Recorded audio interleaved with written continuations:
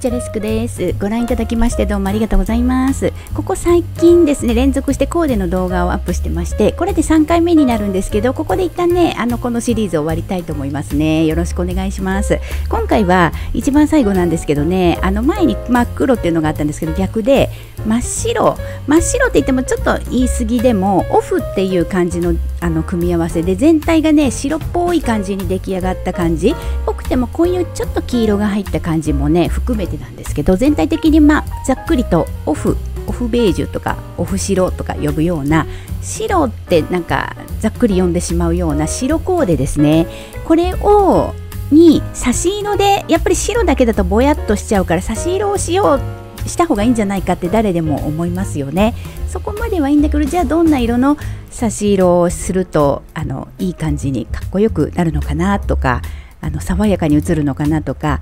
いい風いいように素敵に映るっていうののゴールを目指しちょっと考えてみたいと思いますね。はいじゃあ一緒に見ていきましょう。たくさんいろんな色をちょっと例に出してみましたのであの全部ちょっとあのもうあのいい悪い関係なしでねちょっとねご紹介したいと思いますね。ただですね最初の写したこっちの方ねグレーみたいな薄い方のトーンにでやっていきたいと思いますね。はい。小物でねいろいろ、あのー差し色を入れていくっていう時にベルトって意外とあまり必要ないかとも思われるんですけどやっぱり機能としてはあのズボン下がらないようにとかウエストを止める役割っていう機能があるものなのでベルトというのはただただ飾るんだったらいらないよっていう人もいるとは思うんですけどよく見るとこの体の一番真ん中にあるのであのバランスとしてはねこのベルトって大いに利用する価値があるなと私は思っています。で私も自分がベルト好きなのはきっかけはもともと必要だったからで機能という面から入っていきましてそれがなんかあの素敵なのが多いなと思って集めてベルト一つにしてもいろいろあるんだと思っていろいろ集めてた時があったんですけどあのそういう感じであの小物にはねベルトはちょっと私は定番に入れている方なんですけど人によってはわからないですね。であのスカーフあるじゃないですかね。スカーフって首に巻くだけって思われるかもしれませんけどあの首のところっていうのはネックレスがくると重なるので重なるすごい素晴らしいコーデも考えついたら素敵だとは思うんですけどあの腰腰にねスカーフを巻いちゃうベルトのように巻いちゃうっていうことも考えながら見ていただくとあのスカーフの使い方の幅も広がると思いますのでここではねスカーフは小物に入れてないんですよね。すいませんねこれ私の方の独自のねあのやり方なんですけどということでちょっと順番にねあのシミュレーションしましたんですね。でこういう柔らかいベージュがいいと思うんですよね。あのとりあえずですよ。あの白この真っ白とかけ離れすぎるとちょっと奇抜っていう感じになるのでそれがまた攻めた感じです。かっこよかったりもするんですよ。なのでそれちょっとまたちょっと後にしてとりあえずはみんなになんか親しみが持たれるようなあのいい感じあの心地よい感じというかねなんかすっきりした感じという意味ではこの色はなかなかベストではないかなと。ベージュの優しい色のベージュですね。これをねベルトに持ってきた。そしてベルトとリンクさしてやっぱり他の小物と色が合うとかっこいいんですよね。バッグもねベルトとね同じような色。別に全く一緒じゃなくてもいいと思うんですよね。ちょっと離れているからあのパッと遠目で見た時に大体同じような色に映るのであればありだと思います。ということでこういう感じに合わせてみましたね。もう一つね靴もあって靴もこういう風にベルトとあのリンクさせてもいいかもしれないです。あの靴だと縦にこう見ていくとベルトの下の方に来ますね。なのでバッグは違う色にするんだったら靴をこれで意識してみるっていうのもあるかなと思いますね。じゃあねその他の色っていうことでここからはご紹介していくんですけどこれはね茶色とグレーの間のような色かな。結構好きなんですけどあのあまり強い色にはならないんだけれどもあのこういう感じで少し強めになりましたよねベージュがね。こんな色もねこのオフの色には合っていくと思いますね。と私は思うんですけどね。というご紹介ですね。これね一つ。の色が茶色すぎるじゃないって思うのであればこんな感じでグレー。このねバッグの持ち手ちょっとグレーの濃いのにしているんですけど濃淡っていうのが入り込んでいるようなバッグを選ぶとかものそのもののチョイスでもねあのいろいろちょっと変わっていくと思うのであのこんな感じでちょっと凹凸感が入った感じのグレーっていうのを選んでみると。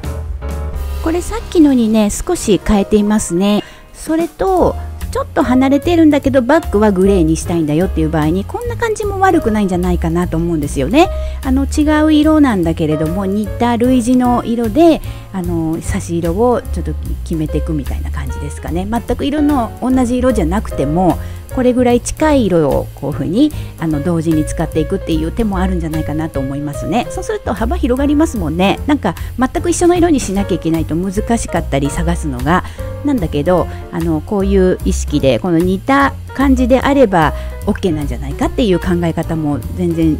柔軟かなと思いますね。ここからはねちょっとね色がね強くなっていきます。最初の方にご紹介したちょっと奇抜かもしれないねっていうのに近い感じ黒と白みたいな全く真反転みたいな感じのイメージ。それでもこれ今のこの映っているのはあの焦げ茶なのでカーキ系の焦げ茶ですけどねあの黒にはなっていないんですよね。なのでありかなと思うし私は結構この色好きなんですよ。これを真っ白にこういう風に色を焦げ茶の色なんかをあの差し込むっていうのいいなと思っていたりするんですけど、まあ、これもご紹介しておきますね。そして一番最後はこれはこれでねかっこいいんですよ。なのであのちょっとなんかあのいろいろお洋服着てつまんないなと思った時に挑戦っていう意味でこのね白白に黒をやってみてどんな風にかっこよくなっていくかっていうのをねあのなんかチャレンジっていうのもいいかもしれないです。一見なんか難しそうでのりのりと白のご飯にのりが乗ってるかのようなイメージに思われるってそのコントラストがすごいんですけど一番すごいのがこの黒と白だと思うんですけどそれでもですねこのようにこうベルトとこう持ってきてで例えばなんか水玉の柄のなんかスカーフ入れていくとか、うんと、どこかにね柄を入れたりとかしながらあとジュエリーをうまく使ったりしてですねあのかっこいい感じの賑やかなシルバー色のジュエリーなんかをあの素敵にやっていくとこのちょっとロックっぽくなっていったりするのかもしれないしっていうのを考えるとあのまあ、これもないことはないなと思って入れてみたんですよね。そうするとね、まあ、無限ではあるんですけどちょっと今日の見てもらうと分かるように茶色系黒系とかしか使ってないんです私の色ね。グリーンとかが出てきていないっていうのがこれが、まあ、ピクチャレスク流のテイストなのであのこうそういう風なご紹介になりましたけどピンクとか水色とかあの他にも色があるわけで、ね、あの黄色とかですね、まあ、それもいいんですけどこの白の良さとかねオフオフの良さを生かすのにナチュラルな感じの路線からあのあくまでもその平凡っていうかねなんか粋ということですかねやっぱりね。なんかかっこよくなるにはっていうことを考えると今日のこのチョイスのこの色のこの展開この辺りがやっぱりかっこよくなるかなと私が思う感じのあの色のチョイスだと思ったのでちょっと今日ご紹介した色が出てきたわけですね。いろいろあのそういう何かご参考になることがあればっていう感じなんですけどね、まあ、そういう感じでねあのコーデをね楽しんでみてくださればって思います。